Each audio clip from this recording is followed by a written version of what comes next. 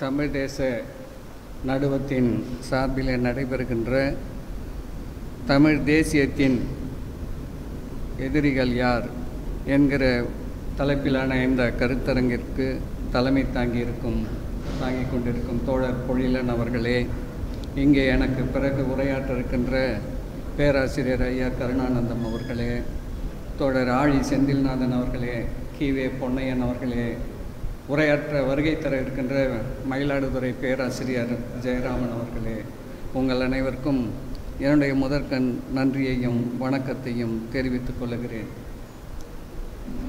தமிழ் தேசம் என்கிற இந்த தேசத்தினுடைய உண்மையான எதிரிகள் உண்மையான எதிரி என்பது இன்றைக்கு நம்மை ஒடுக்குகின்ற பார்ப்பனிய பாசிச இந்திய அரசு தான் ஒன்றிய அரசு தான் நீங்கள் இன்றைக்கு உதாரணத்துக்கு நமக்கு ஈழ தமிழர் குடியுரிமை வேணும்னா கூட மாநில அரசு கொடுக்க முடியாது. இந்திய அரசியல் சட்டத்தின்படி குடியுரிமை வழங்குகிற அதிகாரம் மாநில அரசுகளுக்கு கிடையாது. இந்திய அரசு தான் கொடுக்க வேண்டும். அவர்கள் ஏறத்தாழ முப்பத்தைந்து ஆண்டுகளாக தமிழ்நாட்டிலே இருக்கிறார்கள். ஆனால் இந்திய குடியுரிமை சட்டம் என்ன சொல்லுகிறது? வெளிநாட்டில் இருந்து வருகிற அகதிகள் பதினோரு ஆண்டுகள் இந்த நாட்டில் வாழ்ந்துவிட்டால் அவர்களுக்கு குடியுரிமை வழங்க வேண்டும். அதுதான் இந்திய குடியுரிமை சட்டத்தில் இருக்கிற விதி. ஆனால் இன்றைக்கு சிசிஏ என்று கொண்டு வந்திருக்கிற அதாவது இந்த குடியுரிமை திருத்த சட்டத்தை கொண்டு வந்திருக்கிற ஒன்றிய அரசு அந்த சட்டத்திலே என்ன சொல்லியிருக்கிறார்கள்? வங்காளதேசம் பாகிஸ்தான் போன்ற நாடுகளில் பெரும்பான்மை மதமாக்கி இஸ்லாமியர்களால் ஒடுக்கப்பட்டிருக்கிற இந்துக்கள் பார்சிகள் பௌத்தர்கள் சமணர்கள் இவர்களுக்கு குடியுரிமை வழங்கலாம். அந்த சட்டத்தில் குறிப்பிட்டிருக்கிற செய்தி இஸ்லாமியர்களுக்கு கிடையாது. ஏன்னா அவங்க பெரும்பான்மையால் ஒடுக்கப்படலையாம் சரி அதே சட்டம் இங்க தமிழ்நாட்டில் ஈழத்தில் பெரும்பான்மையான பௌத்தர்களால் ஒடுக்கப்பட்ட தமிழர்கள் இங்கே வந்திருக்கிறார்கள். சைவர்கள் வச்சுக்கோங்க. உங்க கணக்குப்படி. சைவர்கள் வச்சுக்கோங்க பௌத்தர்களால் பெரும்பான்மை மதத்தால் ஒடுக்கப்பட்ட இவர்களுக்கு குடியுரிமை மறுக்கிறது. அதே சட்டம் மோடி கொண்டு கொண்டு வந்திருக்கிற அந்த சட்டம். ஆனால் அங்கே நீ அவர்களை மதமாக பார்க்கிறாய். இங்கே நீ இவர்களை இனமாக பார்க்கிறாய். தமிழன் என்கிற ஒரே ஒரு காரணத்திற்காக இவர்களுக்கு குடியுரிமை தர மறுக்கின்றது இந்திய அரசு. பதினைந்து நாட்களுக்கு முன் மதுரை உயர்நீதிமன்றத்தில் இதே ஈழத்தமிழர் அகதிகள் குடியுரிமை தொடர்பான ஒரு வழக்கில் நடுவண் அரசனுடைய வழக்கறிஞர் வந்து சொல்லுகிறார் உணர்ச்சி வசப்பட்டு ஈழத்தமிழர்களுக்கு குடியுரிமை வழங்க முடியாது. மதுரை உயர்நீதி பதினைந்து நாள் தமிழ் என்பதில் செய்தி வந்திருக்கிறது. என்ன என்ன விதிமுறைகள்? நீ ஒன்று எல்லாருக்கும் பொ ஒரு சட்டம் என்றால் எல்லாருக்கும் பொதுவாக இருக்க வேண்டுமே தவிர நமக்கு இவங்களுக்கு ஒரு சட்டம் அவங்களுக்கு ஒரு சட்டம்னு போடுறதா? எவ்வளோ அநியாயமாக இன்றைக்கு அரசுகள் நடந்து கொண்டிருக்கின்றன. ஒரு காலத்தில் நம்முடைய இந்த முக்கடலும் தமிழனுக்கு சொந்தமாக சொந்தமாக இருந்தன. இந்த பக்கம் சேர நாடு இன்றைக்கு அது மலையாளமாக ஒரு எழுநூறு ஆண்டு இல்லை ஆயிரம் ஆண்டு வச்சுங்க மலையாளமாக சேர நாடு தான் மலையாளமாக மாறி போச்சு அந்த பக்கம் ஆந்திரா எல்லா முக்கடலும் சீனா வரைக்கும் தமிழன் வணிகம் செய்தான். கிரேக்க வரைக்கும் வணிக முக்கடலும் தமிழனுடைய பேராதிக்கத்தில் இருந்தது. ரோமிலா தாப்பர் இந்திய வரலாற்றிலே எழுதியிருக்கிறார். இந்தியாவில் இருக்கிற எந்த ஒரு சிற்றரசுகளுக்கும் எந்த பேரரசுக்கும் இல்லாத ஒரு பெருமை சோழருடைய கப்பற்படைக்கு உண்டு. ஆயிரம் ஆண்டுகளுக்கு முன்னால் உலகத்திலேயே மிகப்பெரிய கப்பற்படையை வைத்திருந்தவன் சோழன். சோழர் ஆட்சியில் பார்ப்பனி ஆதிக்கம் இருந்தது ரெண்டாவது அது உள்ள நம்ம பேசிக்கலாம்.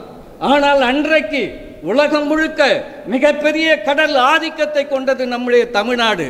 என்றைக்கு இந்தியா என்று ஒரு அரசியல் கட்டமைப்பு வந்ததோ கடல் உரிமை நமக்கு முற்றிலுமாக மறுக்கப்பட்டிருக்கிறது. ஈழத் தமிழர்களை கொத்து கொத்தாக கொன்ற பொழுது கூட தமிழ்நாட்டு முதலமைச்சர் யாராக இருந்தாலும் சரி சீமா வந்தா கூட சரி நேரடியாக கேள்வி கேட்க முடியாது. ஏன்னா மாநில அரசுகளுக்கு அந்த உரிமை இல்லை. இந்திய அரசியல் சட்டத்தின் படி வெளியுறவு கொள்கை என்பது நடுவண் அரசுக்கு மட்டுமே உண்டு மாநில அரசுகளுக்கு கிடையாது. இந்தியா என்பது ஏறத்தாழ ஐநூத்தி அறுபத்தி ரெண்டு சிற்றரசர்களை ஒடுக்கி உருவாக்கப்பட்ட ஒரு தேசம். பல நாடு மகாபாரத காலத்திலேயே ஐம்பத்தாறு தேசங்களாக இருந்திருக்கிறது. ஐம்பத்தாறு தேசங்களுக்கு லிகிதம் அனுப்பிவிட்டாயான்னு துரியோதன தெருக்கூத்தில் சொல்லுவான். கதையில். அதில் ஒவ்வொன்றா வரிசையாக சொல்லிட்டு வருவோம் அதில் பாண்டிய நாடு வருது சேர நாடு வருது அதில் திராவிட நாடும் வருது. நீங்கள் ஐம்பத்தாறு தேசம் படிச்சீங்கன்னா தெரியும். ஜெகதீஷ் ஐயர் என்பவர் ஐம்பத்தாறு தேசங்களை பற்றி ஒரு நூல் எழுதியிருக்கிறார்.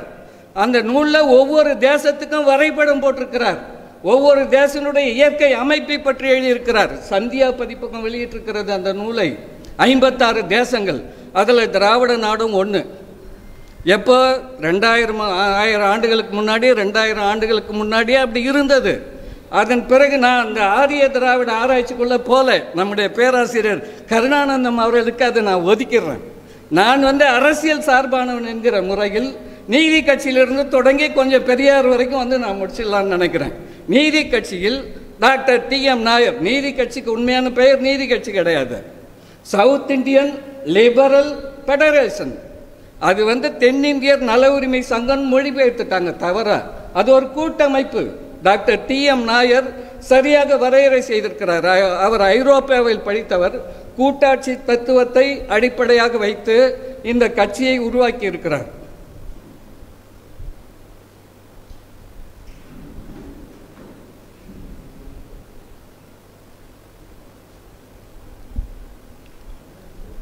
அவர் எழுதியிருக்கிறார். திரா- ஜஸ்டிஸ் ஏட்டில் எழுதியிருக்கிறார். திராவிட நேட்டில் வந்திருக்கிறது. திராவிடம் என்பது ஒரே ஒரு நாடு கிடையாது. தென் வடநாட்டிலிருந்து தென்னாடு தனியாக பிரிந்து இந்த நான்கும் ஒரு கூட்டாட்சியாக இருக்க வேண்டும். அதனால தான் அந்த சொல்லு கட்சிக்கு பேரே பெடரேஷன் திமுக ஆரம்பிக்கும் போது கூட ஆயிரத்தி தொள்ளாயிரத்தி நாற்பத்தொன்பதில் டிஎம்கே கிடையாது. Dravidian progressive federation DEF DMK தொடங்கும் போது நாற்பத்தி நாலில் முதல் கொள்கை விளக்க புத்தகத்தில் அப்படிதாங்குது திராவிட கூட்டரசு. அண்ணா அதை தான் வலியுறுத்தினார். திராவிட நாடு என்பது ஒரு தனி நாடு கிடையாது.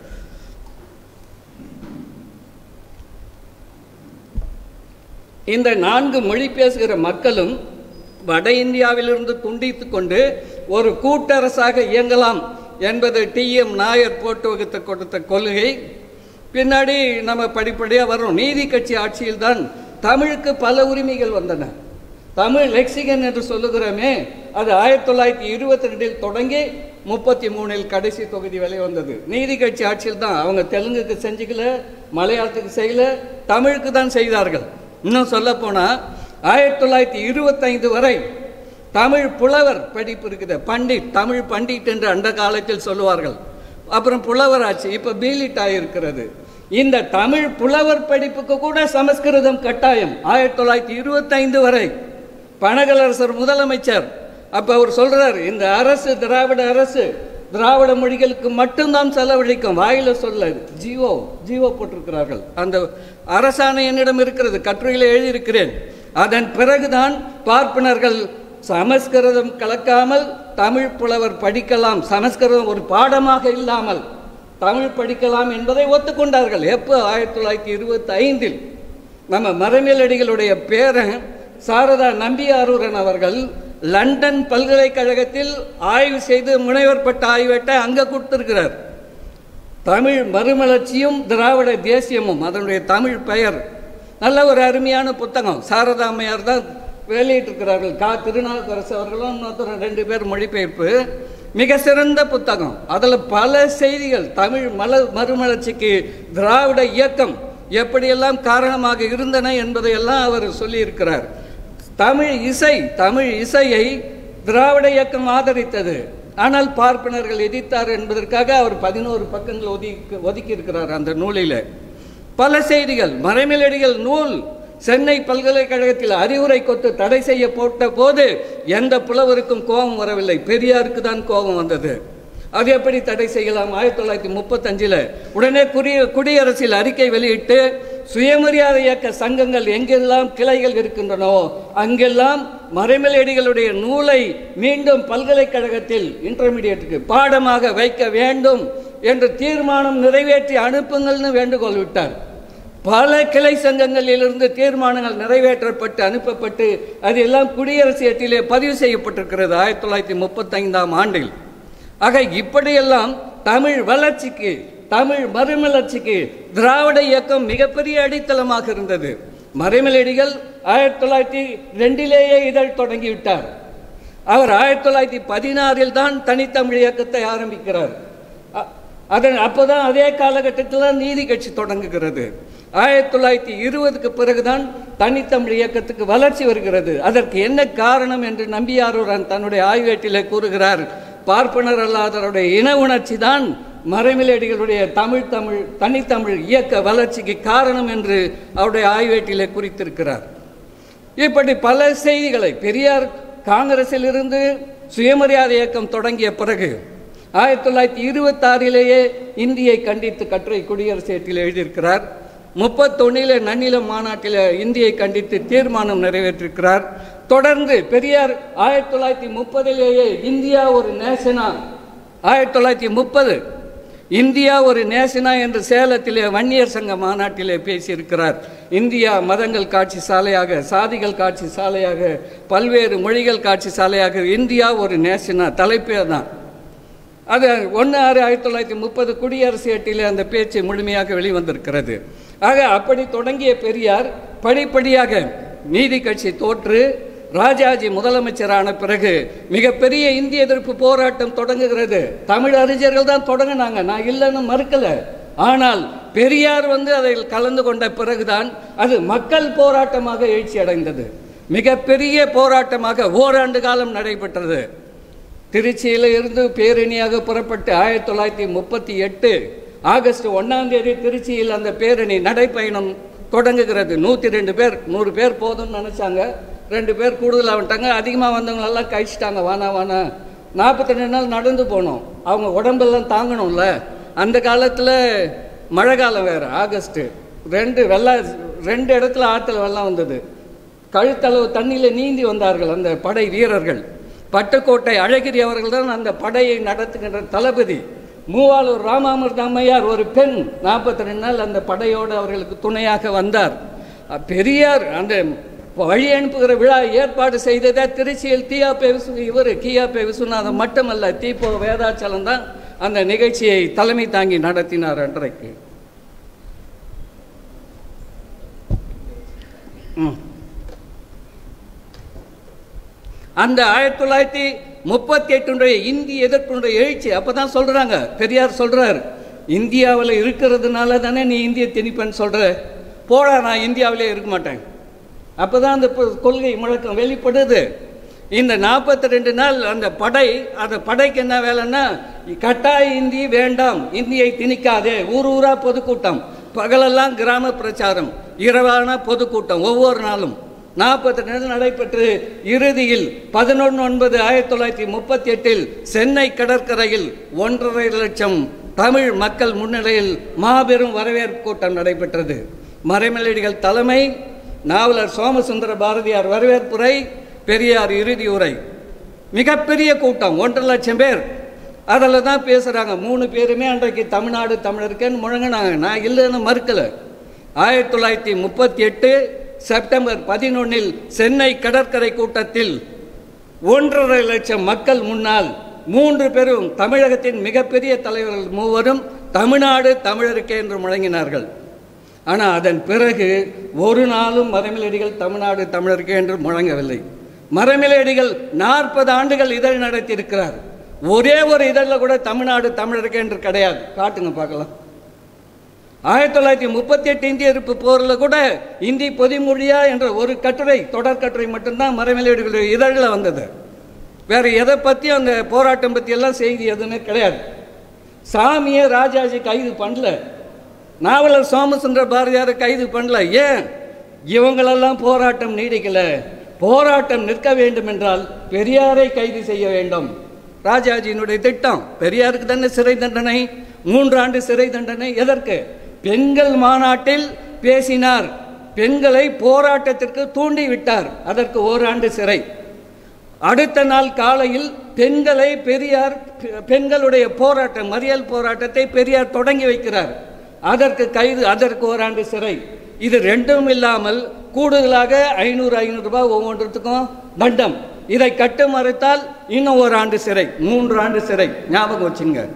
பெரியாரை தமிழ்நாட்டில் சிறை வைத்தால் தொண்டர்கள் சென்று சந்திப்பார்கள் ஊக்கம் ஊட்டுவார் என்பதனால் பெல்லாரி சிறையில் கொண்டு போய் அடைத்தார் ராசாஜி இன்னும் கூட சொல்றேன் அந்த நேரத்தில் பொப்பிலிர் அரசர் தென்னாப்பிரிக்கா பல நாடுகளில் சுற்றுப்பயணம் செய்துட்டு அப்போதான் அங்கே வரார் ராஜாஜி கூப்பிட்டு அவர் மிரட்டி நீதி கட்சி தலைவர் பதவியிலேருந்து விலகுன்றார். அவர் மாட்டேன்னாரு. மாட்டேன்னா ஜமீன்தாரி ஒழிப்பு முறையை கொண்டாந்து உங்கள் ஜமீன்தார்கள் எல்லாம் ஒழிச்சிடணுன்னே எல்லா ஜமீன்தாரும் போய் பப்ளிக்கிட்ட வேண்டிக்கணும். ஐயோ நீ ராஜினாமா பண்ணிடியா? நீதி கட்சி தலைவராக வானா? அவ்வளோ பெரிய கட்சிக்கு தலைவரே இல்லாமல் போய்விட்டது. உண்மை? வரலாறு. அப்போ கியாபே விஸ்வநாதமும் ஏடி பன்னீர்செல்வமும் பெல்லாரி சிறைக்கு போய் பெரியாரை கெஞ்சி தயவுசெய்து நீதி கட்சி தலைவராக நீங்கள் வாங்க. இதை நான் சொல்ல கியாபே விஸ்வநாதன் எனது நண்பர்கள் என்று ஒரு நூல் எழுதியிருக்கிறார். பாரி நிலையம் வெளியிட்டிருக்கிறது. அதில் ஏடி பன்னீர்செல்வம் அவர்களை பற்றி அவர் கூறும்போது சொல்கிறார் நாங்கள் தான் போய் பெரியாரை நீதி கட்சிக்கு தலைவராக வாங்கன்னு கேட்டோம். தலைமை உரையை அங்கேயே எழுதி வாங்கிட்டு வந்துட்டோம்.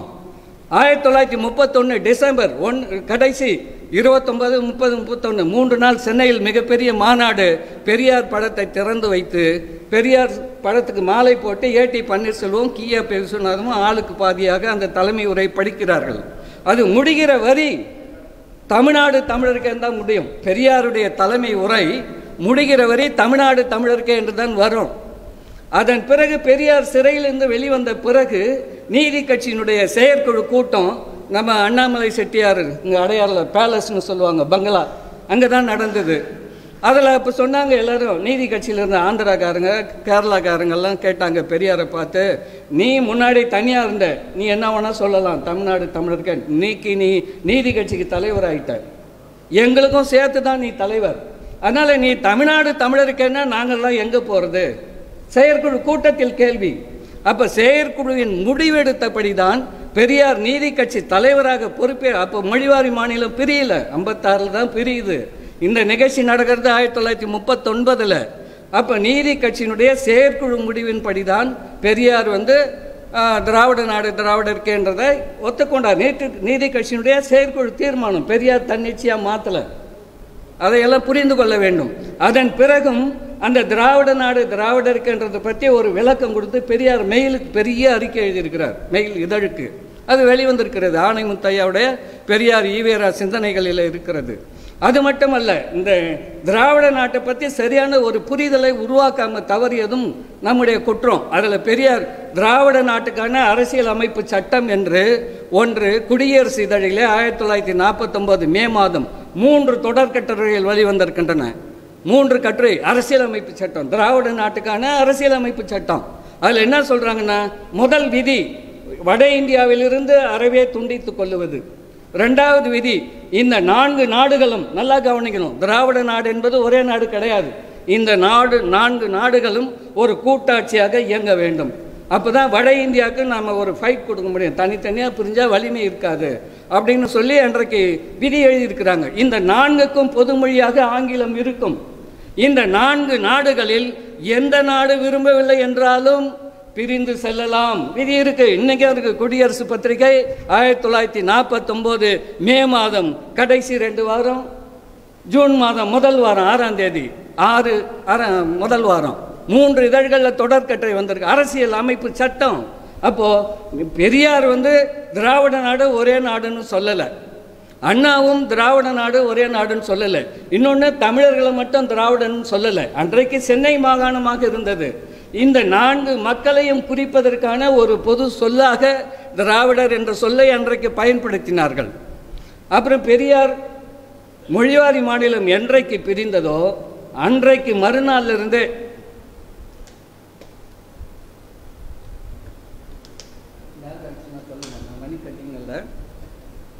பெரியார் ஆயிரத்தி தொள்ளாயிரத்தி நீங்கள் நல்லா தெரிஞ்சுக்கணும்.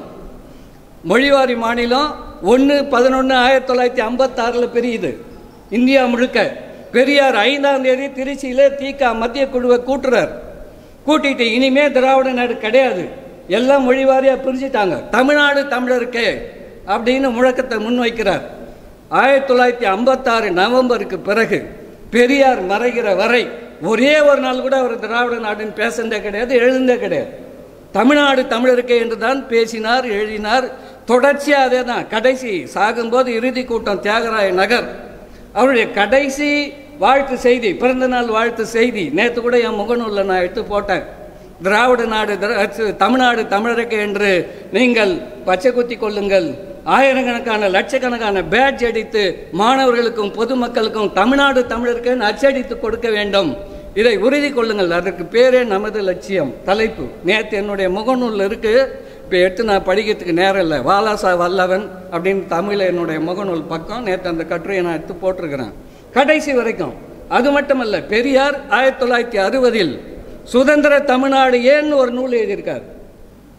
இப்போவும் என்கிட்ட பிடிஎஃப் பயில் இருக்கு. யாருக்குன்னா வேணும்னா நான் அனுப்புகிறேன் வாட்ஸ்அப்பில் சுதந்திர தமிழ்நாடு ஏன்? வேற எந்த தமிழ் தேசிய தலைவர் சுதந்திர தமிழ்நாடு வேணும்னு வெளிப்படையாக பேசினார் சொல்லுங்க. ஸோ ஆதாரம் காட்டுங்க. ஆக பெரியார் பெரியார் தான் கடைசி வரைக்கும் இந்தியத்துக்கு எதிராக நம்மை ஒடுக்குபவர்களுக்கு எதிராக தமிழ் மக்களுக்கு ஆதரவாக கடைசி வரைக்கும் நின்றார். கடைசி வரைக்கும். திராவிட நாடு பிரிவினை தடை சட்டத்தை ஆயிரத்தி தொள்ளாயிரத்தி அறுபத்தி மூணில் இந்திய அரசு கொண்டு வந்தது. திமுக தேர்தலில் நிற்கிற கட்சி அதனால் பிரிவினை கைவிட்டாங்க. ஏன்னா அவங்க நாமினேஷனில் இந்திய ஒற்றுமையை பாதுகாப்போம் ஒருமை பாட்டுக்கு பங்கம் வராமல் பார்த்துக்கோன்னு சொல்ல வேண்டிய நிர்பந்தம் அவங்களுக்கு இருந்தது. பெரியாருக்கு அந்த தேவை இல்லை. அதனால் பெரியார் சொன்னார் நான் உன் சட்டத்தை மதிக்க மாட்டேன் போடா. நான் வந்து தனி தமிழ்நாடு கேட்பேன் என்ன பண்ணுறியோ பண்ணிக்க அப்படின்னு பெரியார் ஒருத்தர் தான் தைரியமாக நின்னார். பிரிவினை தடை சட்டத்தை எதிர்த்து க அறிக்கை விட்டார் பெரியார். அப்புறம் மாநில சுயாட்சி கூட சொன்னாங்க. தயவு செய்து தோழர்கள் கோச்சிக்கூடாது பெரியார் எழுதியிருக்கிறார். எழுபத்தொன்னில் ஆணைமுத்தையா சிந்தனைகள் இருக்கு மாநில சுயாட்சியில் பெருசாக எதுவும் சாதிக்க முடியாதுப்பா. சரி ஏதோ சின்ன சின்ன செய்ய இது மட்டும் உரிமைகள் வாங்கிக்கலாம். ஆனால் தமிழ் தனித்தமிழ்நாடு மட்டும்தான் ஒரே தீர்வு என்று பெரியார் அப்பொழுதும் எழுதியிருக்கிறார். ஆக பெரியார் பெரியார் கடைசி தேர்தலில் திமுகவை ஆதரித்து என்பது வேறு. காங்கிரஸ் ராஜாஜன் காமராஜர் ஒன்றா போயிட்டாங்க. அதனால அவங்கள எதிர்க்கணும். அவங்கள விட திமுக பரவாயில்ல. அதனால திமுக ஓட்டு போடுங்கன்னு எழுபத்தொன்னில் சொன்னார். ஆனால் திமுக மட்டுமே இறுதி தீர்வு என்று பெரியார் என்றைக்கும் சொல்லவில்லை. பொது உடைமையை எழுபத்தி ரெண்டில் எழுதுறாரு. சாகரத்துக்கு கடைசி காலத்தில் தனி தமிழ்நாடுன்னு பேசுகிறாரு நாலு நாளைக்கு முன்னாடி கூட கடைசி சொற்பொழிவு தியாகராயர் ரெண்டாயிரம் மைல். அண்ணாண்டகரம் நீ யார் என்னை வந்து ஆட்சி பண்ணுறதுக்கு உடம்பு சரியில்லை. வலி அம்மா அப்பான்னு கத்திக்கினே பேசுகிறாரு அன்னைக்கு இரவு தான் கொண்டு போய் மருத்துவமனையில் மறுநாள் சேர்த்தாங்க. சென்னையில் சேர்த்தாங்க அப்புறம் சிஎம்சியில் சேர்த்து மூணு நாள் இருந்து ஐயா அவர்களை. இன்னும் கூட சொல்கிறேன் பெரியார் ஆயிரத்தி தொள்ளாயிரத்தி அறுபது ஜூன் மாதம் ஐந்தாம் தேதி தமிழ்நாடு நீங்கிய இந்திய வரப்படும் எரிப்பு போராட்டத்தை நடத்தினார். தமிழ்நாடு நீங்கிய. நல்லா ஞாபகம் வச்சுக்கணும். அதில் கேரளா எரிஞ்சது ஆந்திரா எரிஞ்சது மலையாளம் எரிஞ்சது எல்லாமே எரிஞ்சது.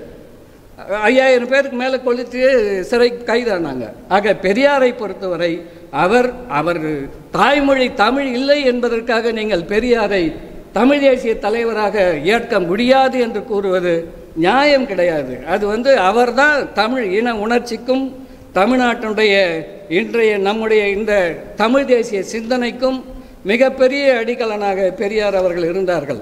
இன்றைக்கு பேமா நாம் மறைமலடிகள் மீது ரொம்ப நம்பிக்கை ரொம்ப பற்றெல்லாம் இருக்குது. அவரை அவமரியாதை பேசணுன்னெலாம் எனக்கு எண்ணம் கிடையாது. ஆனால் பே மணியரசன் அவர்கள் மறைமலை அடிகளை அவர் தான் முன்னிலைப்படுத்தி பேசுறதுனால அவர் ஐ- அடிகளை பற்றியும் நான் சில செய்திகளை சொல்ல வேண்டும் என்று நினைக்கிறேன்.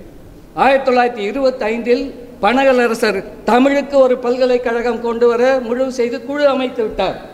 ஆந்திராவில் இந்த இந்து அறநிலை சட்டத்தை பனகலரசர் இருபத்தைந்தில் நிறைவேற்றுகிறார். திருப்பதியில் நாற்பது லட்ச ரூபாய் மீதி பணம் இருந்தது கோயிலில்.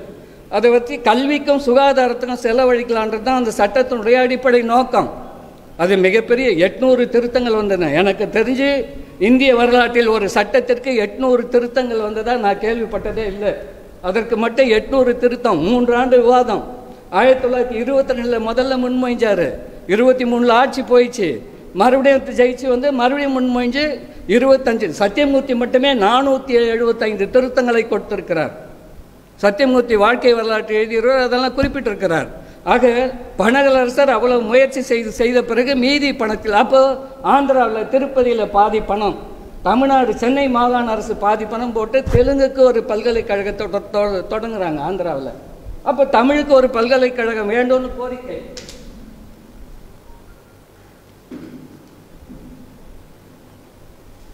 அப்போ தமிழ் ப குழுவெல்லாம் போட்டாச்சு. அவர் பணங்கள் என்ன எதிர்பார்த்தாருன்னா ஏதாவது மடம் ஐம்பது சதவீதம் பணம் கொடுக்கும். மீதி ஐம்பது நாம் கொடுத்துடலான்ட்டு குழுவில் சொல்லி முடிவு பண்ணாங்க. ஆனால் யாரும் மடம் முன் வரல. அது மாதிரி பணங்கள் நீதி கட்சி ஆட்சி தோற்று போயிடுச்சு. சுப்பராயன் வந்துடுறாரு இருபத்தி ஏழில். ஸோ அப்போ என்ன ஆகுதுன்னா இந்த தமிழ் பல்கலைக்கழகம் வேண்டாம் என்று மறைமலடிகள் அறிக்கை மெயில் பத்திரிகையில் எழுதியிருக்கிறார். கு. நம்பியாரூரான் தன்னுடைய முனைவர் பட்ட ஆய்வேட்டில் பிற்சேர்க்கையாக மறைமலடிகளுடைய மெயில் இதனுடைய ஆங்கில கட்டுரையை பிற்சேர்க்கையாக இணைத்திருக்கிறார். அவர் யா வேற யாரும் இல்லை மறைமலடிகளுடைய பேரன். சாரதா நம்பியாரூரன். சாரதாவுடைய கணவர். சைவர். அவர் எழுதியிருக்கிறார். மரமேலடிகள் தமிழ் பல்கலைக்கழகம் வேண்டாம். இருக்கிற சென்னை பல்கலைக்கழகத்தையே வலிமைப்படுத்தினால் போதும். இதே பெரியார் சொல்லியிருந்தார்னா பெரியார் கன்னடியன். பெரியார் தெலுங்க தமிழுக்கு ஒரு பல்கலைக்கழகம் வேண்டாம்னு சொல்கிறாருன்னு சொல்லியிருப்பார்கள் இவர்கள். ஆனால் பெரியார் தமிழுக்கு ஒரு பல்கலைக்கழகம் வேண்டும் என்று குடியரசு ஏட்டில் எழுதினார். வேண்டும் ஆனால் பார்ப்பனர்களை தயவு செய்து அந்த குழுவில் நியமிக்காதீர்கள். ஒரே ஒரு வேண்டுகோள் தான் வச்சார் பெரியார். இப்படி பல செய்திகளை நாம் சொல்லிக்கொண்டே செல்லலாம். அதே போல் மறைமலடிகள் அதாவது மணியரசன் வந்து மறைமலடிகள் வந்து முற்றும் துறந்த முனிவர் தீட்சை வாங்கினவர். அவர் எப்படி நாட்டு விடுதலைக்கு வந்து தலைவராக இவங்க எதிர்பார்க்க முடியும்? அதெல்லாம் வந்து அதே போல் மறைமலடிகள் அண்ணாமலை பல்கலைக்கழகத்தில் பேசுகிறாரு அப்போ வந்து ஒரு நாற்பத்தி மூணில் தேதியெல்லாம் கூட குறித்து வச்சுருக்கேன். ஒரு மாணவர் கேள்வி கேட்குறார் மறை திருநாவுக்கரசு மறைமலுடைய வாழ்க்கை வரலாற்றை எழுதியிருக்கிறார். அதில் ஒரு மாணவர் கேட்குறார் இந்த திராவிட நாடை பற்றி உங்களுடைய உங்களுடைய கருத்து என்ன? அப்படி என்று கேட்கிறார்கள். அப்போ அவர் சொல்கிறாரு இந்தியாவினுடைய வடமேற்கு மூளை ஒரு பகுதி ஆரியவர்தம் தவிர இந்தியா முழுவதும் திராவிட நாடு தான் நல்லா ஞாபகம் வச்சுங்க. மறைமடிகள் சொன்னார். பெரியார் திராவிட நாடுன்னு சொன்னாருன்றதுக்காக நீங்கள் இவ்வளோ கோபப்படுறீங்களே. மறைமலடிகள் திராவிட நாடு தான் அதுவும் இந்தியா முழுவதும். இந்தியாவின் வடமேற்கு மூளை ஒரே ஒரு பகுதியை ஆரியவர்தம் என்கிற பகுதியை தவிர மற்ற எல்லா எல்லாமே திராவிட நாடு தான் மறைமலடிகள் சொல்லியிருக்கிறார் எழுதியிருக்கிறார். அதெல்லாம் அவருடைய மகனே. மறை திருநாவுக்கரசே எழுதியிருக்கிறார். மறைமலடிகளுடைய வாழ்க்கை வரலாறு எத்தனை பக்கம்லாம் கூட நான் குறித்து வச்சுருக்கிறேன். அதெல்லாம் நான் பார்த்து படித்தா எனக்கு நேரம் ஆகிடும் ஆகவே மறைமடிகள் அப்படி சொன்னால் நீங்கள் ஏற்றுக்குவீங்க அதே மறைமடிகள் கோயிலில் இருக்கிற சிவன் கோயிலில் இருக்கிறவங்கெல்லாம் அவங்கெல்லாம் ஆரியர் கிடையாது. அவங்கெல்லாம் ஆதி செய்வர்கள் அவர்களை வெளியேற்றக்கூடாது என்றும் சொன்னவர். இப்போ மயிலாப்பூரில் அவங்க தாங்கிறாங்களா கபாலீஸ்வர் கோயிலில் அவங்க தாங்கிறாங்களா இல்லை இங்கே இங்கே திருவல்லிக்கேணியில் பார்சாதி கோயிலில் ஆதிசைவர் யார் அவங்க தான் இருக்கிறாங்களா சைவம்னா அவருக்கு இந்தியா முழுவதும் மறை திருநாவுக்கரசு எழுதுறார். இந்தியா முழுவதும் சைவம் தயிர் துவங்கி இருக்கிறது தமிழ்நாட்டில் இஸ்லாமியர்களால் சைவத்திற்கு ஆபத்து என்றால் வட இந்தியாவில் உள்ள இந்துக்கள் வந்து நமக்கு உதவுவார்கள். மறைமலடிகள் எழுதியிருக்கிறார். நான் இந்து சைவன் என்று சொல்லிக் கொள்ளுவதில் பெருமைப்படுகிறேன். மறைமலடிகள். அப்போ இந்து இந்தியா இ- இப்போ ஒரு நாளும் திருநாவுக்கரசு எழுதுறார் ஒரே ஒரு நாள் கூட இந்து இந்தியா இந்தியாவை மறுத்து மறைமலடிகள் கருத்தை எழுதியது இல்லை. அப்படின்னு மறை அவங்க பையன் எழுதுறாரு. நான் எழுதல. அப்போ அவரை மணியரசன் தலைவராக தமிழ் தேசியத்துக்கு தலைவராக எந்த இந்தியாவை ஏற்றுக்கொள்ளுகிற மறைமலடிகளை தலைவராக ஏற்றுக்கொள்ளுகிறீர்கள்? காலம் முழுக்க சுதந்திர தமிழ்நாடு தமிழருக்கே என்று கூறிய பெரியாரை மறுக்கிறீர்கள். இதில் என்ன நியாயம் இருக்கிறது? நான் மணியரசனுக்கு ஆயிரத்தி தொள்ளாயிரத்தி இப்போ பதினாறில் ஆயிரத்தி தொள்ளாயிரத்தி நான்கு ஆண்டுகளுக்கு முன்னாடி ரெண்டாயிரத்தி பதினாறு ரெண்டாயிரத்தி ரெண்டாயிரத்தி பதினாறில் மார்ச் மாதத்துலேருந்து மணியரசனுக்கு முப்பது கேள்விகள்னு முகநூலில் தொடங்கினேன். அதை நான் எடுத்து கூட வைக்கல ஏன்னா நேரடியாக முகநூல்லையே பதிவு போட்டு அது காணாமல் போயிடுச்சு. மே பதினேழு இயக்கத்தை சேர்ந்த தோழர்கள் அதெல்லாம் உள்ளே போய் தேடி எடுத்து இப்போ ஒரு மின் உலாக்கி கொடுத்துருக்கிறார்கள். போன வாரம் தான் எனக்கு வந்தது. அதில் நான் பல செய்தியை சொல்லியிருக்கிறேன். இவர் அது சுபவீர பாண்டியனுக்கும் மணியரசனுக்கும் அடையாறில் ஒரு வாதம் நடந்தது. அதில் வந்து நம்ம அயோத்திதாச பண்டிதர் சென்சஸ் அதிகாரிக்கு தமிழன்னு பதிவு செய்யணும்னு மணியரசன் பேசியிருக்கிறார். நான் இல்லைன்ட்டு சுபவி பேச நேரடியாக கேட்கல கூட்டத்துக்கு போல. மறுநாள் சுபவிக்கு சொன்னேன் தொலைபேசி பண்ணி. ஏங்க நீங்கள் மறுக்கல? சென்சஸ் அதிகாரிகளுக்கு அப்படின்ட்டு அயோத்திதாச பண்டிதர் எழுதும்போது ஆயிரத்தி தொள்ளாயிரத்தி ஒன்பதில் பத்தில் அவர் எழுதுறாரு. அதாவது ஆ சாதி பேதமற்ற பூர்வீக திராவிட குடிகள்னு பதிவு செய்யுங்கன்னு எழுதியிருக்கிறாரு. அயோத்திதாச சிந்தனைகள் பக்கம் முந்நூற்றி பதினாறு முந்நூற்றி பதினேழு நான் சுபவிக்கு சொன்னேன். அவர் எடுத்து பார்த்துட்டு அவருடைய பிளாக் ஸ்பாட்டில் போட்டார். வல்லவன் இப்படி சொன்னார் நான் பார்த்தேன் சரியாக இருக்குதுன்ட்டு. ஆனால் மணியரசன் இன்னைக்கு வரைக்கும் அவர் தமிழன்னு பதிவு பண்ண சொன்னார்னு சொல்கிறது என்ன நியாயம்? அதாவது நமக்கு தமிழன் ஆசை இருக்கலாங்க அதை அவர் மேலே நீங்கள் சாட்டக்கூடாது. அவர் இதழ் தமிழன்னு நட்டினார். ஆனால் அந்த இதழில் உள்ள இருக்கிற எல்லா செய்தியிலையும் எல்லா இடங்கள்லையும் அவர் வை- வைத்திருந்த அமைப்புக்கு பெயர் ஆ- ஆதி திராவிட மகாஜன சபை அயோத்திதாசர் வைத்திருந்த அமைப்புக்கு பெயர் ஆதி திராவிடர் மகாஜன சபை அவர் காலம் முழுக்க ஆயிரத்தி தொள்ளாயிரத்தி பதினாலில் இறக்கும் வரை அதில் மாற்றமே செய்து கொள்ளவில்லை. அந்த அயோத்திதாசர் சிந்தனைகளை ஞான அலோசியஸ் அவர்கள் தொகுத்து பாளையங்கோட்டை நாட்டார் வழக்காற்றியல் மையம் ஆயிரத்தி ஐநூறு பக்கம் வெளியிட்டிருக்கிறார்கள். அதில் ஐநூறுக்கும் மேற்பட்ட இடங்களில் ஜாதி பேதமற்ற பூர்வீக திராவிட குடிகள் தான் அவர் எழுதியிருக்கிறார். ஆக அவர் பேரில் போய் நீங்கள் திணிக்கக்கூடாது நம்ம கருத்து என்பது வேறு அவர் கருத்து என்பது வேறு. அதை கொண்டாந்து அப்படி பண்ணுறீங்க அப்புறம் மறைமலேடிகளை பற்றி அவர் தான் சைவம் சைவம் நீங்கள் அதாவது லெனின் என்ன சமயத்தின் பேரால் தான் தேசிய இனங்களுக்கு விடுதலை வாங்கி கொடுத்தாரா? நீங்கள் சைவத்தை முன்னிலைப்படுத்தினால்தான் விடுதலை தேசிய இன விடுதலை கிடைக்குமா? இது என்ன நியாயம் இது சீனாவில் மாசேதங்கன்னா அப்படி தான் செய்தாரா? இதெல்லாம் வந்து ஒரு அறிவியலுக்கு முரணா அறிவியலுக்கு புறணா மெய்யியல் என்கிற பேரில் இப்படியெல்லாம் நீங்கள் தொடர்ந்து மணியரசன் அது அதுக்கு அடுத்தபடி மாப்போசியை பற்றி நான் கொஞ்சம் சொல்லிடணும். ஏன்னா இவங்களுடைய தலைவர் சீமானுக்கும் தலைவர் அவர் தான் மணியரசனுக்கும் தலைவர் அவர் தான் நான் ஒரு சின்ன நூல் தான் எழுதினேன். மாப்போசியும் ஆதித்தனாரும் தமிழ் தேசிய தலைவர்களாக இதற்காக நான் ஆறாயிரம் பக்கம் செங்கோல் இதழ்களை படித்திருக்கிறேன். இதில் பின்குறிப்பில் கொடுத்துருக்கிறேன். ஆறாயிரம் பக்கம் நான் படித்திருக்கிறேன் மாப்போசினுடைய இதழ்களை. அவர் இந்திய தேசியத்தினுடைய கையால் என்பதை நான் நிரூபித்திருக்கிறேன். அவர் தமிழ் தேசியவாதியே அல்ல சுபவியாவது மாப்போசிய வலதுசாரி தமிழ் தேசியம்னு எழுதினார். நான் இல்லை அவர் தமிழ் தேசியரே கிடையாது அவர் இந்து தேசியர் அப்படின்றது தான் என்னுடைய ஆய்வினுடைய முடிவு. அதே போல் புலிகள் இப்போ சீமா புலிகளை ரொம்ப தூக்கி பிடிச்சி பேசுகிறார் நான் அதெல்லாம் மறுக்கலை. ஆனால் சீமான் புலிகளை மறுத்த மாப்போசியம் தலைவர் என்கிறார். எம்ஜிஆர் ஒரு முறை மாப்போசியை கூப்பிட்டு கேட்குறாருங்க அதாவது பிரபாகரனை பார்க்க ஏற்பாடு பண்ணுறேன் பார்க்குறீங்களா அப்படின்ட்டு எம்ஜிஆர் கேட்குறாரு எம்ஜிஆர் முதலமைச்சர் அப்போ பக்கம் இருபத்தி ஏழில் நான் அதை எழுதியிருக்கிறேன். அதாவது மாப்போசினுடைய நூலையே ஆதாரம் போட்டு குறிச்சிருக்கிறேன். ஒரு அஞ்சு நிமிஷம் இவங்களை பற்றி சொல்லிவிட்டு நான் முடிச்சுக்கலாம்னு நினைக்கிறேன். ஆ அதான் எம்ஜிஆர். அது நாம் என்ன பிரபாகரனை பார்க்குறேன்னா நமக்கு எவ்வளோ மகிழ்ச்சி இருக்குங்க. நான் அடையார் இந்திரா நகர் இல்லத்தில் போய் அப்போல்லாம் அவங்க மற்ற தோழர்களை தான் பார்த்தேன். எண்பத்தி மூணு எண்பத்தி நாலில். இவர் எம்ஜிஆர் சொல்லியும் மாப்போசி மறுக்கிறார். ஈழ விடுதலை போராட்டத்தை மாப்போசி என்றுமே ஆதரித்ததில்லை.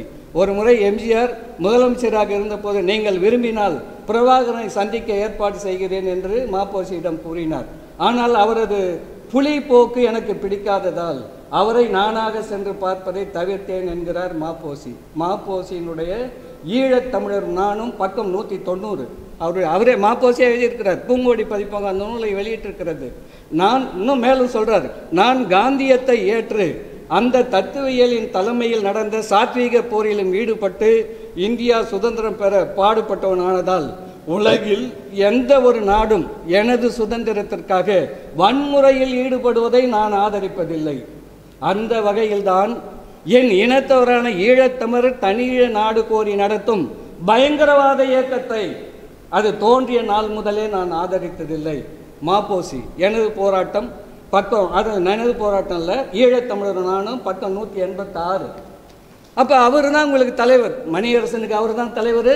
சீமானுக்கு அவர் தான் என்ன உங்கள் தலைவர் என்ன உங்கள் லட்சியம்? அதை சொல்லுங்கள் அதே போல் இந்தியை பற்றி மாப்போசி சமஸ்கிருதத்தை பற்றி மாப்போசி சொல்லி நான் என்னுடைய உரையை நிறைவு செய்யலாம் என்று நினைக்கிறேன்.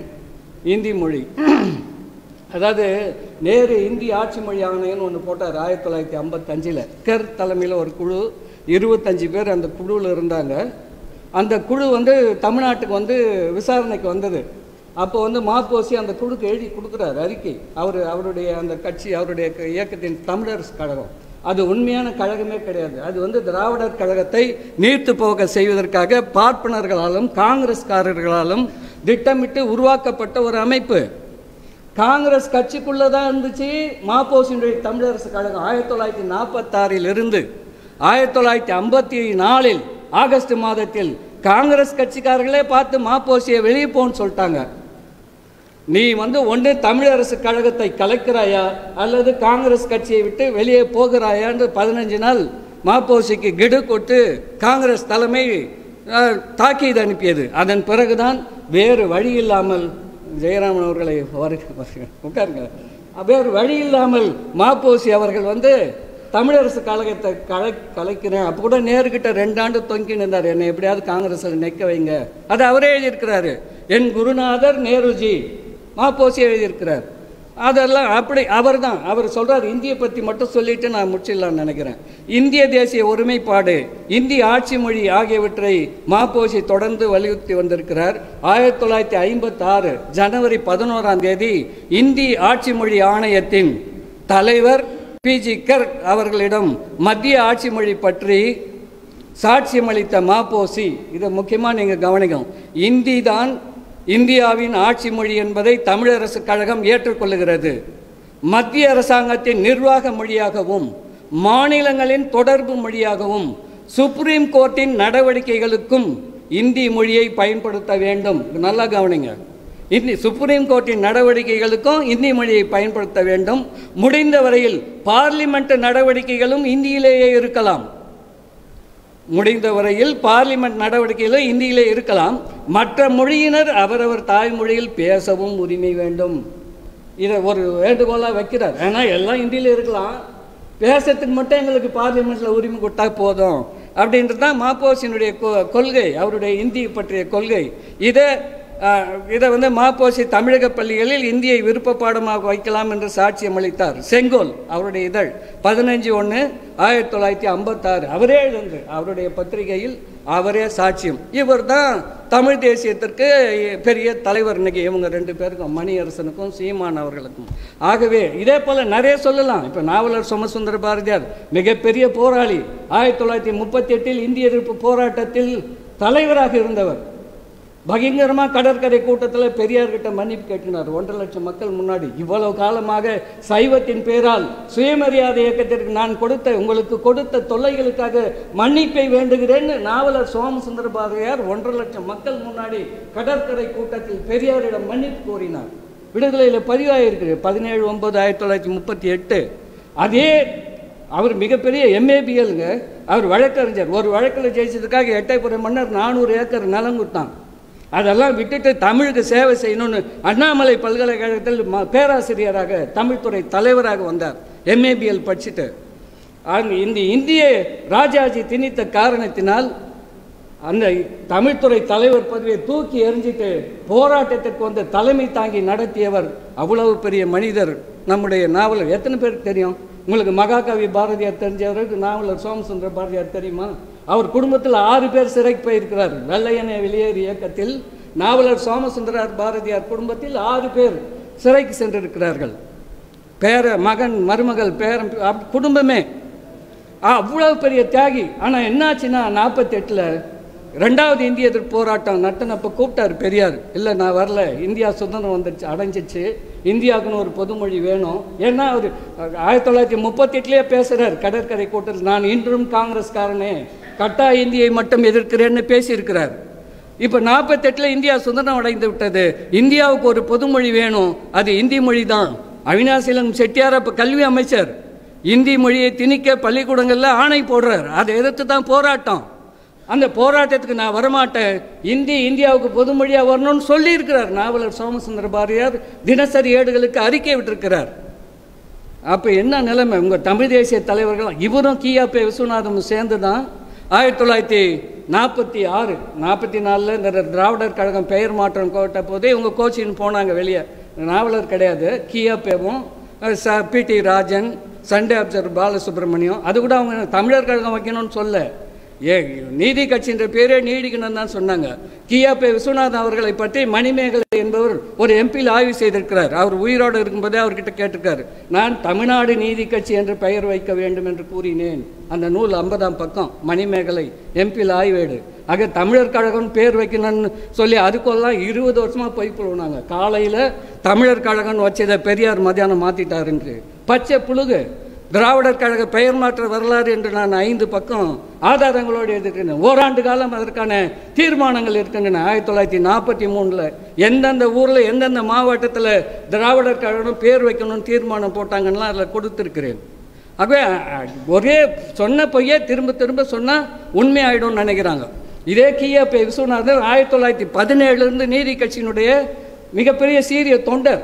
பனகலரசர்கிட்ட போய் அவர் தான் மருத்துவக் கல்லூரிக்கு ஒரு மாணவனுக்கு சீட் கேட்டார். திருச்சி நீதி கட்சி தலைவருடைய பையனுக்கு. அப்போ பனகல் பார்த்து சீட்டு கொடுன்னு சொன்னார் மெடிக்கல் டைரக்டர் கிட்ட. ஆனால் ஒரு மாதம் கழிச்சு அந்த பையன் பேர் லிஸ்ட்டில் வரல. மறுபடியும் வராங்க. பனகலை பார்க்குறாங்க. கியாபே விஸ்வநாதன் வாழ்க்கை வரலாறு முகம் மாமணி எழுதியிருக்கிறார். தமிழ்மண் பதிப்பகம் வெளியிட்டிருக்கிறது. படிங்க தயவு செய்து அப்போ வரல. அப்போ கேட்டால் டைரக்டர் கூப்பிட்டு அந்த பையனுக்கு எம்பிபிஎஸ் தெரியாது. அதனால் நாங்கள் அது சமஸ்கிருதம் தெரியாது. அதனால் நாங்கள் சீட்டு கொடுக்கல. அப்போ எங்கே அந்த ஆணை எடுங்க எடுத்துன்னு வாங்கன்னா ஆணையெல்லாம் இல்லை அது மரபு. இன்றைக்கு வரைக்கும் அப்படி ஒரு ஆணை கிடையாது. யாரும் எடுத்து எழுதலை. ஆய்வு பண்ணவங்களும். இப்போ அரசு ஊழியர் சங்கத்தினுடைய முன்னாள் தலைவர் கங்காதரன் அவர்கள் மூணு நாளைக்கு முன்னாடி முகநூல் போட்டார். பனகலரசர் அந்த ஆணையை கொண்டாந்து போடுங்கன்னு போட்டப்போ பார்ப்பனர்கள் கையை விரித்தார்கள். அதெல்லாம் ஒன்றும் இல்லைங்க சிரிச்சிங்கன்னா மரபுங்க இதெல்லாம் அப்படின்னு சொல்லிட்டு போயிட்டாங்கன்னு கங்காதரன் பதிவு பண்ணியிருக்கிறார். ஆக எவ்வளோ ஏமாற்று எவ்வளவு இது தமிழ் புலவர் படிக்கனால இப்படியெல்லாம் செய் இந்த கியாப்பை விஸ்வநாதம் ஆயிரத்தி தொள்ளாயிரத்தி முப்பத்தி எட்டில் பெரியார் என்றைக்கு தலைவராக தேர்ந்தெடுக்கப்பட்டாரோ அன்றைக்கு இவர் வந்து பொதுச் செயலாளர் அண்ணா இணை செயலாளர் கூடுதல் செயலாளர். கியாப்பே வெளியே போன பிறகு தான் அண்ணா பொதுச் செயலாளர் வரார். ஆயிரத்தி தொள்ளாயிரத்தி நாற்பத்தி மூணு வரைக்கும் கியாபே நீதி கட்சியினுடைய பொதுச் செயலாளர். அப்போ நாற்பத்தி மூணில் பொதுச் செயலாளர் பதவி தான் விலகிறார். கட்சி விட்டு போல இருபத்தஞ்சு காரணங்களை சொல்லியிருக்கிறார். அந்த எம்பியில் ஆய்வேட்டில் அந்த இருபத்தஞ்சு காரணங்களும் இருக்கின்றன. அதில் ஒரே ஒரு காரணம் கூட பெரியார் கன்னடியர் என்றோ தெலுங்கர் என்றோ பெருமாழியாளர் என்றோ கிடையாது. என்னை பொதுச் செயலாளரை தனியாக செயல்பட பெரியார் விடவில்லை. நீதி கட்சியை வளர்த்தெடுக்க பெரியார் பாடுபடவில்லை. நீதி கட்சி கிளைகளை கட்டி அமைக்க பெரியார் உதவவில்லை. நீதி கட்சியினுடைய பணத்தை முழுக்க பெரியாரே வைத்துக் கொண்டிருக்கிறார். என்னிடம் கொடுக்கவில்லை.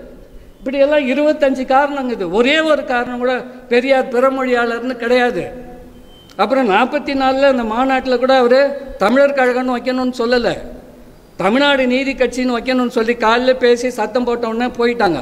பிரிஞ்சு போய் நாங்கள் தான் உண்மையான நீதி கட்சின்னு சொல்லி சண்டே அப்சர் பாலசுப்ரமணியம் பிடி ராஜன் கியாப்பே அந்த குழுவில் தான் இருந்தார் கியாப்பே உடனே தமிழர் கழகம் ஆரம்பிக்கல. அந்த குழு தான் அம்பேத்கருக்கு கன்னிமரா ஹோட்டலில் விருந்து வச்சது. அவர் அவர் சொன்னார் நீதி கட்சி ஏன் தோத்துக்கு தெரியுமா? அரசியல் பதவிக்கு தான் நீங்கள் போட்டி போடுறீங்க.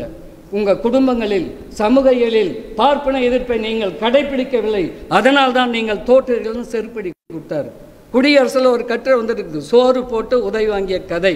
அம்பேத்கருக்கு விருந்து வச்சதை பற்றி சின்ன போலி இது நீதி கட்சிக்காரங்க தான்.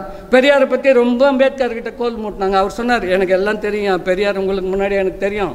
நீங்கள் போய் பெரியார் சொல்கிறத கேட்டு செய்யுங்க போங்கன்னு சொல்லிட்டு அவர் மா அந்த நிகழ்ச்சியை முடிச்சுட்டு பெரியாரை பார்க்க அவர் வீட்டுக்கு போயிட்டார் அம்பேத்கர். இது எல்லாமே வரலாற்று பதிவு. அண்ணல் அம்பேத்கரினுடைய எழுத்தும் பேச்சும் முப்பத்தி ஏழு தொகுதி வந்திருக்கிறது. முப்பத்தி ஏழாவது தொகுதியில் இந்த நிகழ்ச்சியெல்லாம் இருக்குது. அம்பேத்கர் தமிழ்நாட்டுக்கு வந்த நிகழ்ச்சியெல்லாம் முப்பத்தி ஏழில் இருக்குது. அது முழுக்க அவருடைய சொற்பொழிவுகள். ஆக இந்த கியாப்பே இப்போ இப்படி இருந்து பிரிஞ்சு போனவர் நாற்பத்தி நல்லா கவனிங்க நாற்பத்தாறு நாற்பத்தி ஏழில் கியாப்பேவும் நம்ம நாவலர் சோமசுந்தர பாரதியும் தமிழர் கழகம்னு ஆரம்பிக்கிறார். கியாப்பே பொதுச் செயலாளர் நாவலர் சோமசுந்தர பாரதியார் தலைவர். ரெண்டு மூணு ஆண்டு தான் இருக்குது. தமிழர் நாடுன்னு இதழ ஆரம்பிக்கிறாங்க. அதன் பிறகு ஐம்பதுக்கு பிறகு ஒன்றுமே கிடையாது. கடை விரித்தேன் கொல்வார் இல்லை. எல்லாருக்கும் சந்தா தொகையை திரும்பி அனுப்பிட்டு அவர் பாட்டுக்கு போயிட்டார் கியாப்பே அதன் பிறகு என்னாச்சு? கடைசி காலத்தில் எம்ஜிஆர் ஆட்சியில் எங்கள் சோழிய வேளாளருக்கு ஜாதி அடிப்படையில் இடஒதுக்கீடுகள் ஊர்வலம் போனார் கியாப்பே. இப்படி போகிறவங்கெல்லாம் தமிழ் தேசியன்னு போகிறவங்கெல்லாம் சாதியாகவும் அப்படி தான் இப்போ பழனிவேல் தியாகராஜனுடைய பாட்டம் தான் பிடி ராஜன். அவர் தான் பெரியார் எதிர்த்து நாற்பத்தி நாலில் வெளியே போனவர். நாங்கள் தான் உண்மையான நீதி கட்சின்னு சொன்னவர். ஐம்பத்தி ரெண்டு தேர்தல் நீதி கட்சின்னு போட்டி போட்டவர். ஆக இந்த கியாப்பே கடைசியாக தமிழர் கழகம் ஆரம்பித்த பிறகு எழுதுகிறாரு இந்த கன்னடியர் தமிழர்களுக்கு எப்படி தலைமை தாங்கலாம்? தமிழர் நாடு இதழில் கியாப்பே எழுதியிருக்கிறார். ஏயா நீ நான் ஆயிரத்தி தொள்ளாயிரத்தி பதினேழுலேருந்து நீதி கட்சியில் இருப்பேன் அப்போல்லாம் அவங்க உனக்கு தெலுங்குன்னு தெரிய மாட்டாங்க. நீதி கட்சியில் பொ பெரியார் தலைவராக இருப்பார் நீ பொதுச் செயலாளராக இருந்திருக்கிற அன்னைக்கெல்லாம் பெரியார் கன்னடையர்னு உனக்கு தெரியல. ஆனால் நீ தமிழர் கழகம்னு ஒன்று வச்சிட்ட பிறகு உனக்கு ஒரு ஏடுன்னு வந்த பிறகு பெரியார் உன் கண்ணுக்கு கன்னடராக தெரிகிறாரா? என்ன நியாயம் இதெல்லாம்? இப்படி எழுதுறதுல ஏதாவது பொருள் இருக்குதா? ஐம்பதில் மூட்டை கட்டி வச்சுட்டு போனார். அதன் பிறகு நாற்பது வருஷம் இருந்தார். என்ன பண்ணார் கியாப்பே? இன்னும் கூட அண்ணல் தங்கவை பற்றி மா மா இவர் மணியரசன் தூக்கி பிடிச்சி பேசுகிறார் ஆயிரத்தி தொள்ளாயிரத்தி நாற்பதில் திருவாரூரில் நீதி கட்சி மாநாடு இந்த திராவிட நாடு திராவிட இருக்கேன்னு முப்பத்தொம்போதில் பேசின பிறகு நாற்பதில் திருவாரூரில் ஆகஸ்ட் இருபத்தொன்று இருபத்தி ரெண்டு நாள் மாநாடு. அதில் என்ன தீர்மானம் வருது? நாம் இந்துக்கள் என்று பதிவு செய்யக்கூடாது. நம்மை திராவிட சமயம் என்று பதிவு செய்ய வேண்டும். சென்சஸ் எடுக்க வரப்போகிறோம் நாற்பத்தொன்னில் சென்சஸ் எடுக்கும்போது நம்மை சென்னை மா- நம்மெல்லாம் திராவிடர்னு பதிவு செய்துக்கணும். உன்னுடைய சமயம் என்னன்னு கேட்டால் இந்துக்கள் இந்து சமயம்னு சொல்லக்கூடாது. திராவிட சமயம்னு சொல்லணும். இந்த தீர்மானத்தை முன்மொழிந்தவர் அண்ணல் தங்கம். அதுதான் முக்கியம். அந்த செய்தி குடியரசு ஏட்டில் பதிவில் இருக்கிறது. எந்தெந்த தீர்மானத்தை யார் யாரெல்லாம் முன்மொழிஞ்சாங்க யார் வறுமொழிஞ்சாங்கன்னெலாம் குடியரசு ஏட்டில் பதிவாகி இருக்கிறது. என்னோட கட்டுரையில் எழுதியிருக்கிறேன். ஆகவே இதுக்கு மேலே நான் நேரத்தை இழுக்க விரும்பவில்லை. ஆகவே உண்மையான தமிழ் தேசிய விடுதலைக்கு பாடுபடுபவர்கள் இந்திய தேசியத்தை எதிர்க்க வேண்டும். மாப்போசி இன்னொரு க- கெட்ட வேலையும் செய்தார். அதாவது நம்மை போன்ற ஒடுக்கப்பட்ட தேசிய இனங்களான மலையாளம் கன்னடம் ஆந்திரம் நம்மை ஒட்டி இருக்கிற அவர் நம்மளை போல இந்திய அரசு அவங்களையும் ஒடுக்குது. நமக்கு இருக்கிற உணர்வு நாங்கள் பெரும்பான்மையாக வரல. அவங்களும் தேசிய இனம் விடுதலை ஆகணும். ஆனால் இவர்களை பகை சக்தியாக காட்டினார். தமிழ்நாட்டில் பிறமொழியினர்னு ஆயிரத்தி தொள்ளாயிரத்தி எழுபத்தாறில் மாப்போசி நூல் எழுதினார். ஆயிரத்தி தொள்ளாயிரத்தி எழுபத்தாறு நல்லா ஞாபகம் வச்சுங்க. எழுபத்தேழு தேர்தலில் திமுக தோற்று போது அண்ணா திமுக அதிகமாகிடுது மாப்போசி துணைத் தலைவர் பதவியை தக்க வச்சுக்கணுன்னா மேலவை துணைத் தலைவர் பதவியை தக்க வச்சுக்கணுன்னா எம்ஜிஆருடைய தயவு வேணும். ஆயிரத்தி தொள்ளாயிரத்தி எழுபத்தாறில் நூல் எழுதிய நீ எழுபத்தேழில் ராமாபுரம் தோட்டத்திற்கு சென்று எம்ஜிஆர் காலில் நெடுங்கடையாக விழுந்து ஐயோ என்னை காப்பாற்றுங்க என் தலைவர் பதவி என்னுடைய துணைத் தலைவர் போயிடக்கூடாதுன்னு எம்ஜிஆர் ஆதரிச்சு எழுதினாரு. எம்ஜிஆர் மலையாளியாக இருந்தாலும் இரண்டாவது பாடமாக தமிழை எடுத்து படித்தார். செங்கோல்ல மாப்போசி எதிர்க்கிறார். எம்ஜிஆர் மாபெரும் தலைவர். எம்ஜிஆருக்கும் எனக்கும் இருந்த உறவு அவருடைய தொடர் ஒரு புத்தகமாகவே வந்திருக்குது. பூங்கொடி பதிப்பகம் மயிலாப்பூரில் வெளியிட்டிருக்கிறார்கள். ஆக இப் அதாவது எதை பகை சக்தியாக பார்க்க வேண்டுமோ எல்லா இந்திய தேசிய இனங்களை ஒடுக்குகின்ற இந்திய தேசியத்தை நட்பு சக்தியாகவும் நேரு என்னுடைய குருநாதி காந்தி பிறந்தநாள் ஃபுல்லாக செங்கோலில் அவரை வாழ்க்கை தலைவர் எழுதுறது இந்திய தேசியத்தை சில இது மட்டும் கொடுத்தா போ. இப்படியெல்லாம் சொல்லி எழுதிட்டு இங்கே இருக்கிற அண்டை உறவுகள் தேசிய இனங்களுக்கு இடையில் பகையை மூட்டி விடுகிற அந்த வேலையை தான் மாப்போசி போன்றவர்கள் செய்தார்கள் என்பதை கூறி உண்மையான தமிழ் தேசியத்தின் உண்மையான பகை சக்தி பார்ப்பனியமும் இந்திய தேசியமும் அதை உடைக்காமல் தமிழருக்கு விடியல் இல்லை விடிவு இல்லை என்று கூறி எனக்கு பேச அளி- வாய்ப்பளித்த உங்கள் அனைவருக்கும் நன்றியை கூறி முடித்துக் கொள்கிறேன். நன்றி வணக்கம். தமிழ் உறவுகளே வணக்கம். கடந்த ஏறக்குறைய ஒரு வருடத்தை நமது சேனல் நெருங்க இருக்கிறது. இந்த நேரத்தில் நீங்கள் கொடுத்த அத்துணை அன்புக்கும் அரவணைப்புக்கும் உங்களுடைய சப்போர்ட்டுக்கும் நன்றியை சொல்ல கடமைப்பட்டிருக்கிறோம். நண்பர்களே உங்கள் நண்பர்களுக்கு நமது சேனல் லிங்கை ஷேர் செய்து உங்கள் நண்பர்களை நமது சேனலை லைக் பட்டனை அழுத்தி லைக் செய்து சப்ஸ்கிரைப் பட்டனை அழுத்தி சப்ஸ்கிரைப் செய்து அதிலே ஆல் பட்டனை அழுத்தி நோட்டிஃபிகேஷனை பெறுவதற்கும் பெற்றும் நீங்கள் எங்கள் சேனலுக்கு மிகப்பெரிய வலிமையை கொடுக்கும்படி உங்களிடம் அன்போடு கேட்டுக்கொள்கிறோம். அது மட்டுமில்லாமல் எங்களுடைய சேனலில் எளியவர்களின் பேச இயலாதவர்களின் கருத்துக்களை பேசக்கூடிய இந்த பணியில் இந்த ஊடக பணியில் நீங்களும் உங்களுடைய கருத்துக்களை பகிர்ந்து நாங்கள் மேலும் சுவையாக இந்த நாட்டு நடப்புகளையும் அரசியலையும் உங்களுக்கு வழங்குவதற்கு எங்களுக்கு இதன் மூலம் உதவி செய்யுங்கள் என்று உங்களிடம் அன்போடு கேட்டுக்கொள்கிறோம். நன்றி. வணக்கம்.